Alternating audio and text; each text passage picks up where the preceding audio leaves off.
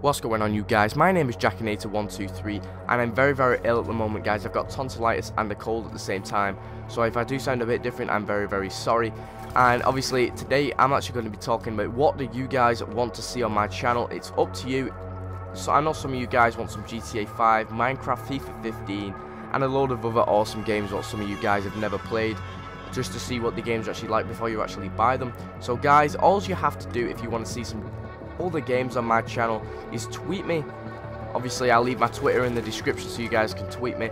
I will also leave my, um, well, also, you can just, like, YouTube message me or tweet me or something like that. Whatever games you want to see, guys, I will post them on my channel. As long as I know you guys are actually very, very entertained with the videos I put up for you guys, I will definitely do some more of them. Hopefully, I will be bringing you some GTA 5 today, as well as this this video obviously going up today as well and a best class setup video going up today.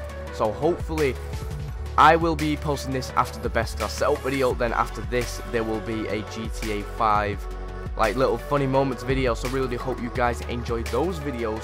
So yeah all you have to do guys is tweet me what kind of videos you want on my channel. I know a load of you guys want GTA 5 and I know a load of you guys would like uh, FIFA 15 and a load of other stuff like that so all you have to do guys is tweet me or YouTube message me. I would really really appreciate it if you would tweet me and tell me what kind of games you want to see on my channel. So thanks a lot for watching guys. Really do hope you enjoyed the video. Hope you're having a brilliant brilliant day. I know I'm not because I'm very very ill. But anyway guys, hope you're having a brilliant day and I shall see you guys on the next video.